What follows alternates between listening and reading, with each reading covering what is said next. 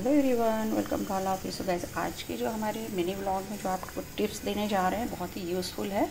और ये है कि जो कोलेस्ट्रॉल बढ़ जाता है ना, बैड कोलेस्ट्रॉल होता है तो उसके लिए क्या करना है? तो बस इस तरह की चीज़ आपने बनानी है। ये हमने बनानी है चटनी इसकी जो कि आपको खाने के साथ लेनी है थोड़ी सी तो यहाँ पर हमने गार्लिक लिया हुआ है, लहसुन को हाफ़ कटोरी के करीब, इसको अच्छे से वॉश कर लेना है, साफ़ कर लेना है और ड्राई कर लेना है। उसके बाद हमने यहाँ पे दो ग्रीन चिली ले रखी है।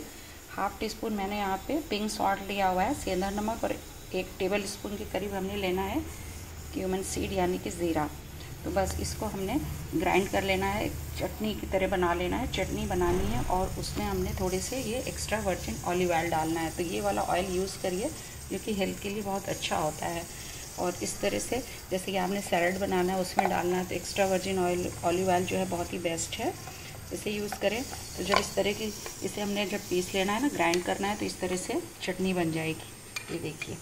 अब इसके हमने एक एयर टाइट जो है जार होता है, छोटा सा, या आपने बाउल है, जो भी है, उसमें रख सकते हैं। इस तरह से ऑलिव ऑयल डाल लेना है, और ये आपने हफ़्ते भर के लिए बना लेना है वन वीक के लिए।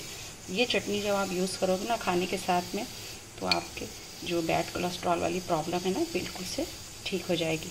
और इस तरह से टेस्ट भी बहुत ही बढ़िया आता है इस चटनी का। आपने इसे ज़रूर बनाना है, खा के देखिए और कमेंट्स बॉक्स में ज़रूर बताइएगा कि ये कैसी चटनी लगी और ये हमारा जो टिप्स हमने बताया है, ये कैसा लगा। चलिए नेक्स्ट मैं इसी तरह के मिनी ब्लॉग में आपको नए नए टिप्स देते रहेंगे। Okay take care